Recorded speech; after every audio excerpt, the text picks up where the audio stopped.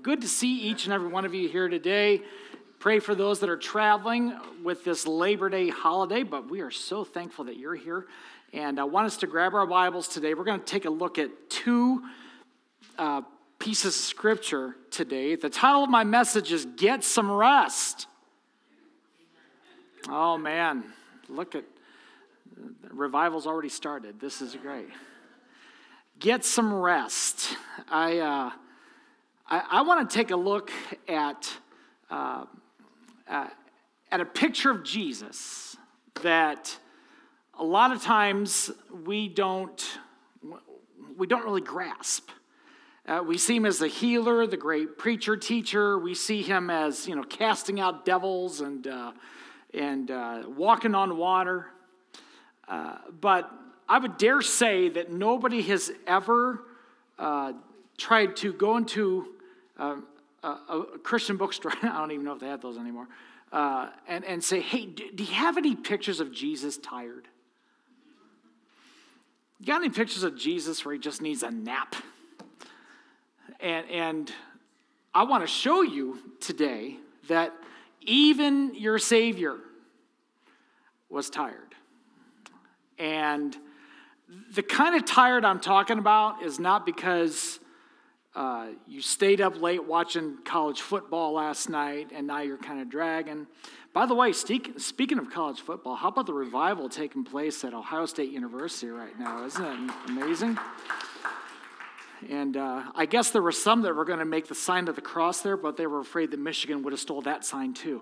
Uh, but uh, that was really good. So some of you don't know. Anyway. But uh, so I'm not talking about whether you need a nap or not today. Uh, I, I want to go a little bit deeper than that and, uh, and really talk about those times that we're just fatigued and, uh, and what causes that and where we can find help. So we're going to start in John chapter 4 today. And if you would, uh, if you're able to, would you stand with me in honor of God's word as we read this together? John chapter 4, just going to read six verses here today.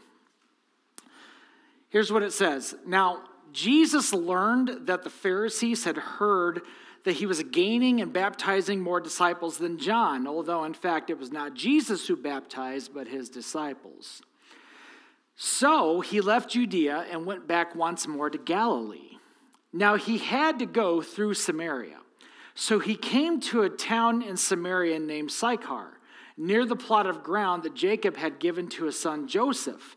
Jacob's well was there, and Jesus, tired as he was from the journey, sat down by the well, and it was about noon. Now, uh, why don't you turn with me or click with me to Matthew chapter 11? Uh, so uh, we get two verses today for the price of one. Isn't that great? So two texts, and uh, we will not charge you double to be here. Matthew 11, 28 through 30. A lot of you will recognize this. Jesus says this Come to me, all you who are weary and burdened, and I will give you rest. Take my yoke upon you and learn from me, for I am gentle and humble in heart, and you will find rest for your souls. For my yoke is easy and my burden is light. So, Jesus, I pray that you would be that source of strength that we that we need whether that be emotional mental spiritual or even physical. Lord i ask you that you would meet us right where we're at today and uh, lord that you would know uh, that, that we would know that you are here to restore our souls. And so have your way across this place. In jesus name amen. You may be seated. Get some rest Get some rest. So, this might be a crazy revelation to you. But Jesus, who was 100% God, but also 100% man while he was on earth, felt feelings like we feel and went through things like we do, and yet did not have any sin whatsoever. But part of his humanity mixed with his divinity was moments where he felt tired. Uh, in fact, it's fair to say Jesus might have been a pretty hard sleeper if you remember, he was in the boat sleeping while there was a huge storm going on. So, oh, to be able to sleep that hard. Uh, but for some of us in here, and again, I'm not talking about uh, whether you only got five hours of sleep or less last night. I'm not talking about how you want your Sunday nap. Fine. But I want to talk about a fatigue that tends to be a little deeper than that, where it kind of wears us down. We feel worn down, we feel worn out for different reasons. In fact, I'm going to explore some of those reasons today. And this is not just confined to the uh, older people in here, however, we will define that. And it also includes those of you who are younger as well. Uh, what I'm about to share with you, all of this can apply to our lives where we desperately need Jesus to help us get some emotional, mental, spiritual, and maybe even physical rest. So, let's give you two, two points today, okay? 28 subpoints, but two points. So here we go. Uh, number one, let's look at the source of our fatigue. The source of our fatigue. What makes us tired? What wears us down? Uh, I think it's more than just working 40 hours a week. I think it's more than, than, than uh, you know, you did some yard work yesterday and now you're beat. Let's go deeper. In fact, let's take a look and see what Jesus himself was going through. And maybe we could relate a little bit more to this subject here today on this Labor Day weekend about truly getting some rest. Here's the first thing that I've noticed that can wear us down. Uh, number one, trouble. Trouble with a capital T? No, I won't. Some of you know that Broadway song, but I won't, I won't sing it now because it's not the time. Um, trouble. Jesus was facing some trouble, some opposition. Look at verses 1 and 2.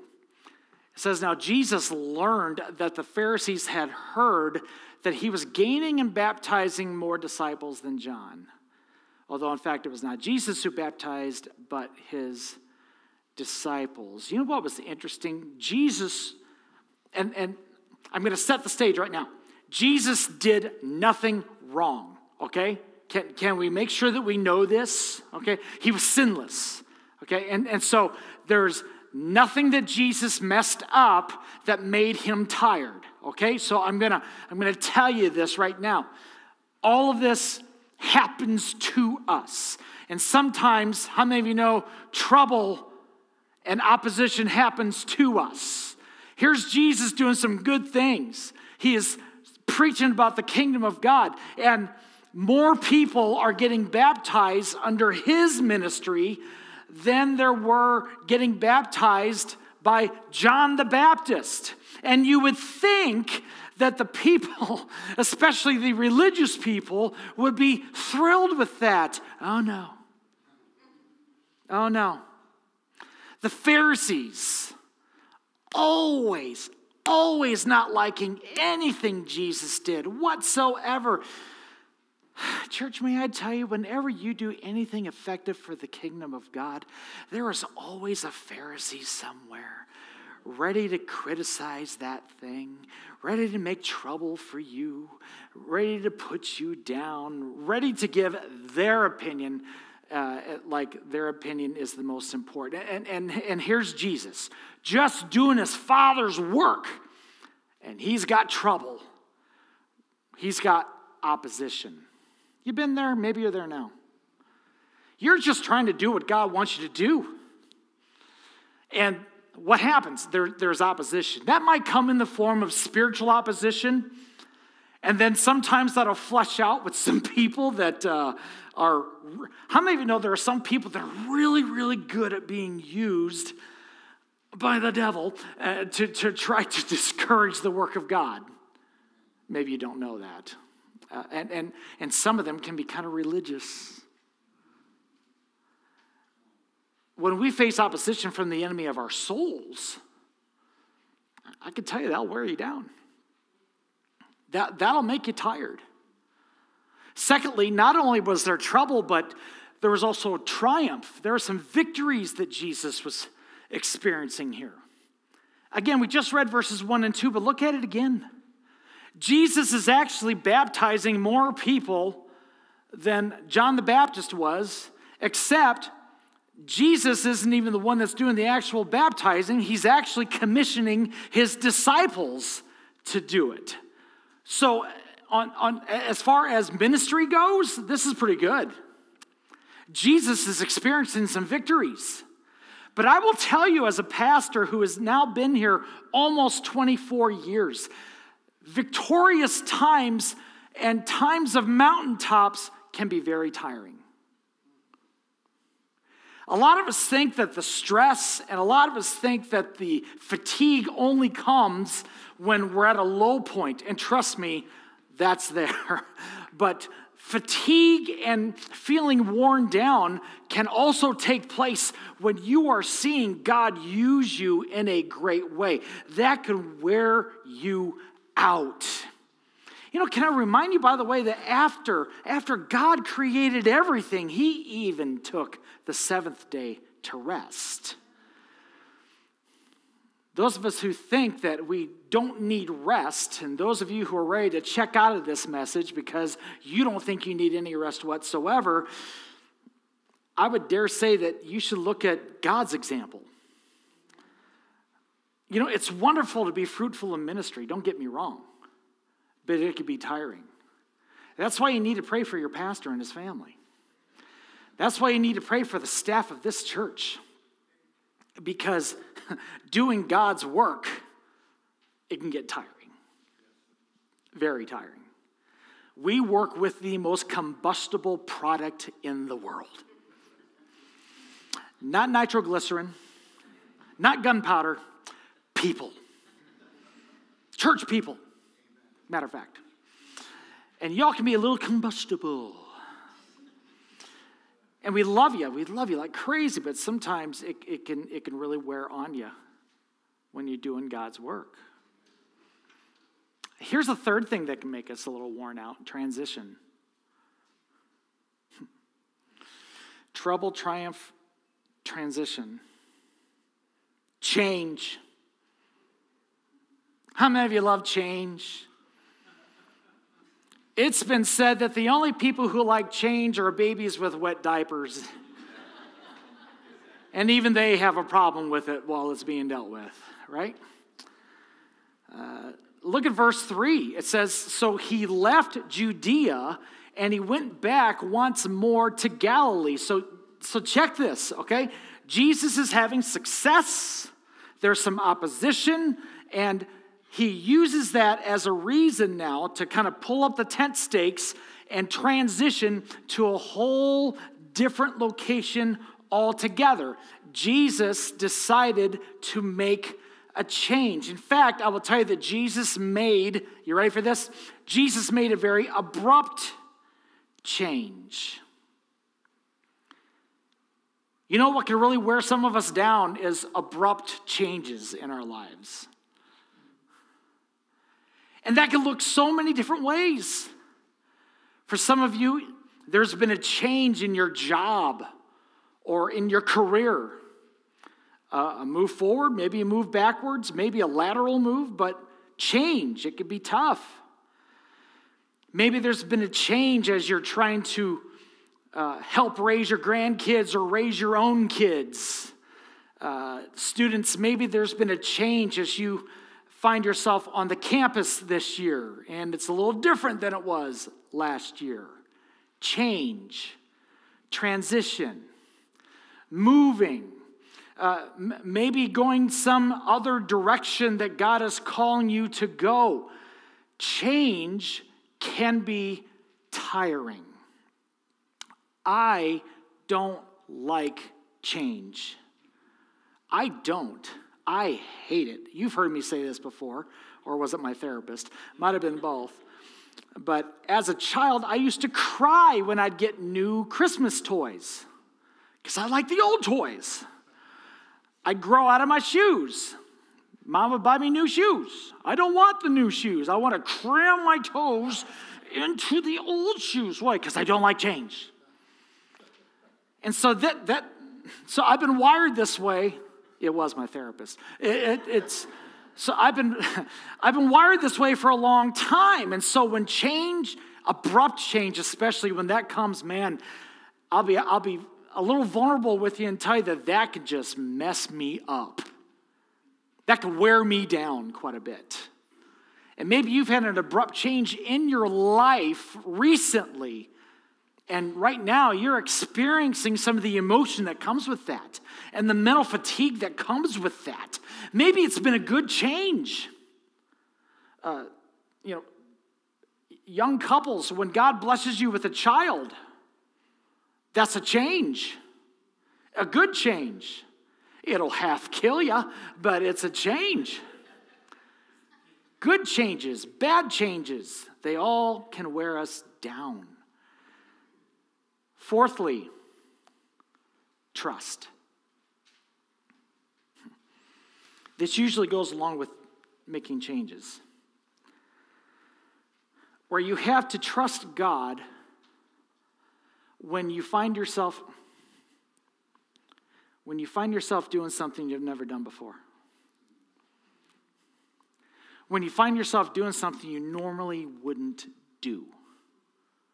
Where do I get this? Take a look at verse 4. Now, he had to go through Samaria. Now, some of you read that, you're thinking, okay, big whoop. But this is kind of a big deal. Uh, Jesus was Jewish. Did you all know that? Okay. His disciples were Jewish. The opposite of a Jew was a Gentile. Okay? Jews and Gentiles didn't like each other, they didn't get along. Not at all. But then you had the Samaritans where they were a hybrid of the Jews and the Gentiles. So they were half Jewish, half Gentile. Nobody liked them. Not at all.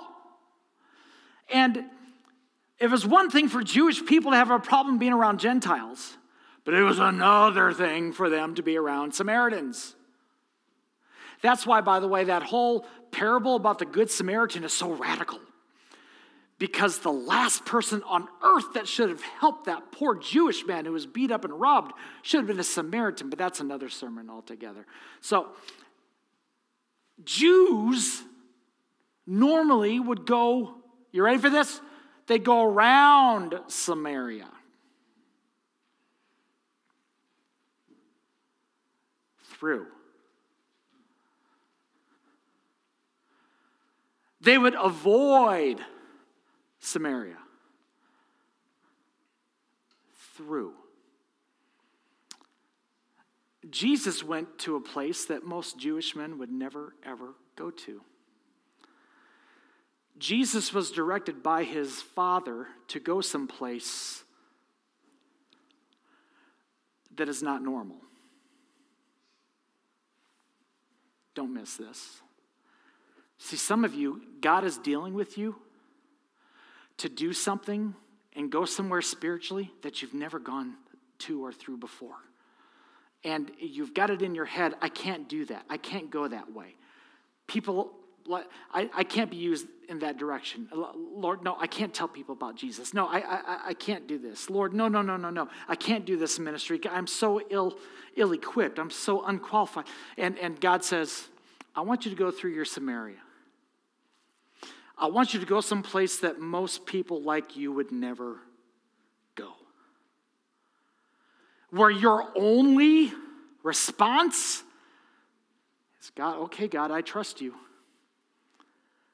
When God says, I want you to take this career path that maybe nobody else would ever take, or I want you to say no to something that maybe everybody else would say yes to. Samaria. And you know what? That's tiring. Do you actually think that a guy like Peter did not speak up say, What are we going to Samaria for? I don't like Samaria. James and John, sons of thunder. Oh, I'm mad because I'm going through Samaria. Thomas, I doubt it, but we might as well just go. So believe me, Jesus was probably hearing about it all the way there. And how much do we trust the Lord even when nobody else agrees? But we know it was from God. That could be tiring. Can I give you one more source? Just the trip. Thank you. Just the trip. Just the trip itself. Just life itself. Again, verses 5 and 6. So he came to a town in Samaria called Sychar, near the plot of ground Jacob had given to his son Joseph. And Jacob's well was there. And Jesus, tired as he was from the journey, sat down by the well, and it was about noon. Now, for those of us who might know this story, we know that this leads to Jesus talking to the woman at the well. God uses that conversation as a catalyst to touch all of Samaria because of this one chance encounter, chance encounter that Jesus has with a woman with a real sketchy past. Another story altogether. But when you are used of by the Lord and you're just trying to obey God and you're going through life and you've got your kids and you've got your schedule and you've got your job and you've got the stuff you got to do around the house and you've got all this that you're dealing with and all that that you're dealing with, how many of you know that that trip that we call life can be very very exhausting. And there's nobody in this place that knows that better than Jesus. Even Jesus was tired from this trip. Even Jesus found himself at a place of fatigue. What do you do? What do you do when you find yourself emotionally, mentally, spiritually, every way, any way, exhausted and fatigued.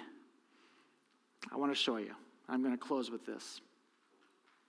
No, I'm not. I'm just going to go to the second point. Uh, no, very quickly, let's look at the solution. If you're worn out today, I want to take you back to the words from Matthew chapter 11. What Jesus had to say to weary people, burdened people people who were stressed, people who were exhausted, people who were fatigued, people who did nothing wrong. Look what he says Come to me, all you who are weary and burdened, and I will give you rest. Take my yoke upon you and learn from me, for I am gentle and humble in heart, and you will find rest for your souls. For my yoke is easy and my burden is light. Can I give you a few steps today to follow? If you're exhausted, check this out. Number one is your reaction come to me, Jesus says. Come to me. Again, that's what exactly what he said in verse 28. Come to me, all you who are weary and burdened, and I will give you rest. Come to don't go somewhere else to find rest. Don't go into the arms, ladies, of the first guy that burps in your face and think you're, you're found, you're Prince Charming.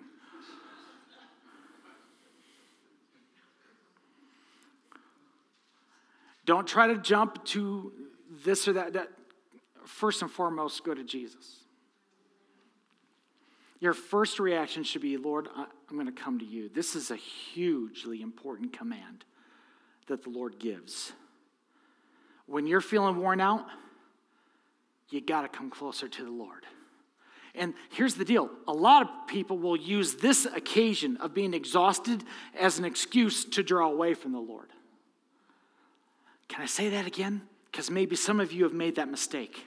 You find yourself exhausted, worn out, just beat down, and you've used that as some kind of rationale to distance yourself a little bit from the Lord. The prayer is now infrequent. The time in God's word is non existent, if at all existent whatsoever, and, and, and, and things have changed. But this is the time that Jesus says, No. If you're exhausted, if you're worn down, come to me. Come to me. Draw closer to me, and I will draw closer to you, the scripture says. Can you say amen? Now, secondly, there's a responsibility. Huh. And this is very important. Take my yoke.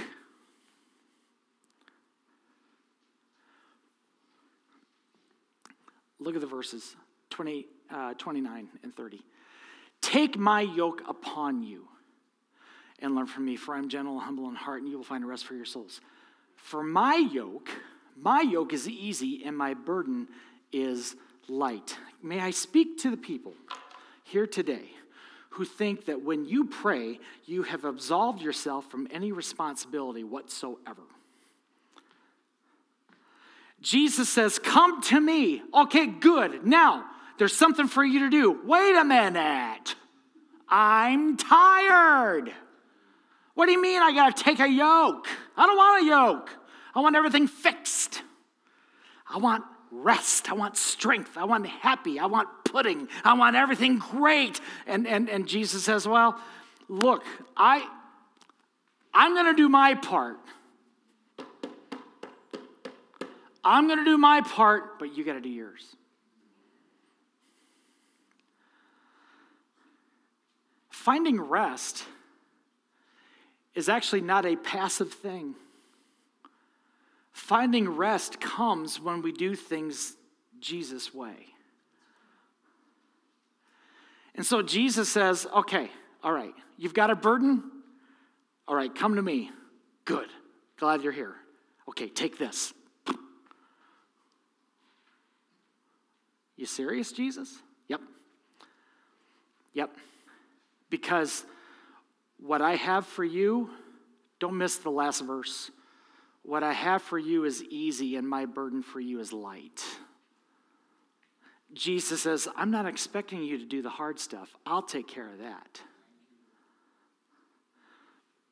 But there's something that you have to do as well. Don't absolve yourself from the responsibility of still obeying what God wants you to do, even when you're exhausted, even when you're tired.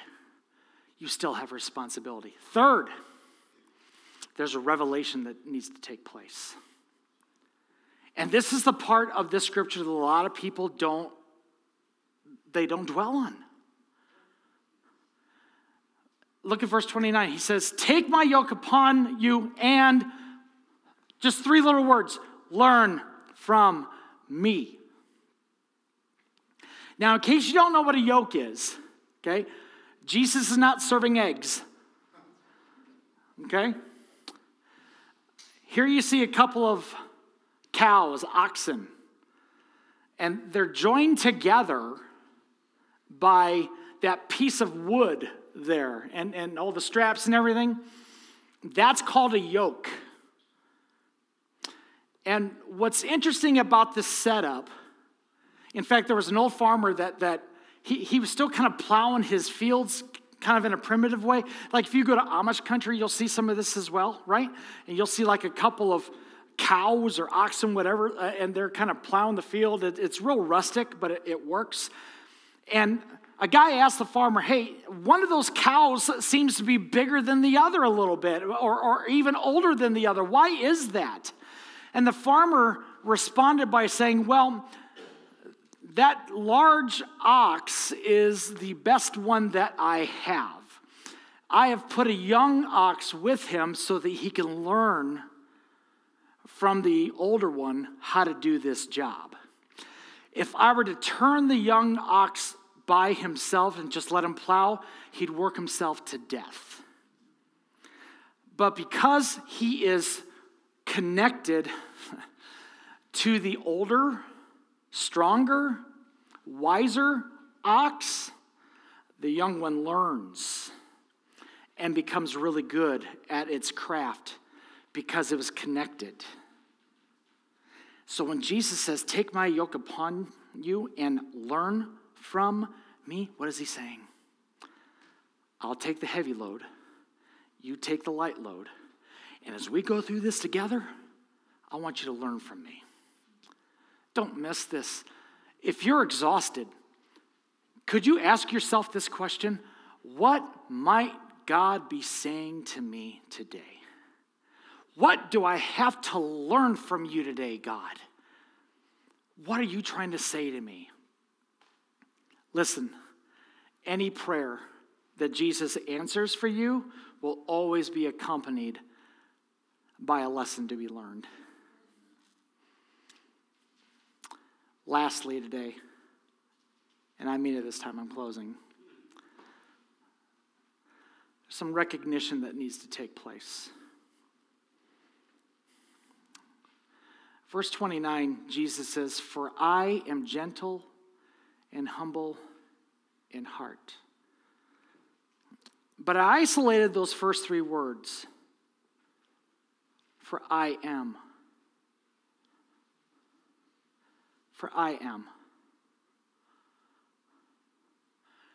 As you're trying to get rest, and as you're trying to get strength, do you know what the Lord wants to do? He wants to reveal to you exactly who He is. Maybe that's not hitting you like it hit me. But sometimes we're so focused on getting the answer to our prayers that we don't realize that God will always use this opportunity for you to see His Son for who He truly is. And in this case, He says, I'm gentle and I'm humble in heart. Maybe your I am needs to be something different. Maybe you need it revealed that you have a very loving father, not a father who's out to get you. Maybe you need to be reminded that you have a great shepherd who's watching over you and taking care of you. Maybe you need to realize that he truly is the answer to everything that you've been searching for all of this time. What is God wanting to say to you personally throughout this whole experience? It's not just about getting rest. It's about Jesus revealing to you who he really is. And you will never find more strength and more peace and more stability than knowing exactly who Jesus is. I'm talking to people today, Jonathan, if you can help me. I'm, I'm, I'm talking to people today that, that you've experienced life, you've experienced some trouble, you've experienced some good things, some bad things, but as things stand right now, there, there's just, you're at this place where you're just tired. You're exhausted, you're fatigued, you're worn out through no fault of your own. Life's happened to you, people have happened to you, things have taken place. Here's what Jesus says Come to me. Come to me. Let me teach you. The burden I have for you to carry is way lighter than what you think it is. And I want you to see me for who I truly am. And maybe today, maybe today, in the midst of your fatigue, and maybe today, in the midst of what you're facing, you can come to the Savior and just say, Lord, I need rest. I need strength. I need peace. I need help. And He's here today. If you'll just come to him. Will you stand with me? God, I'm asking you today that you would work in people's hearts.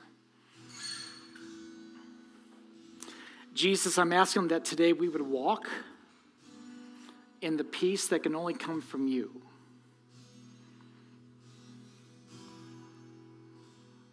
So, Lord, I pray that you'd meet us right where we're at.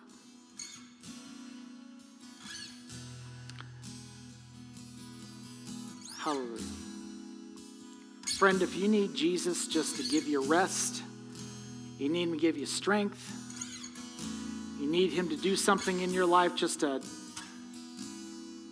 just take you to the next day, he's here. come to Him. Come to Him. You'll find rest.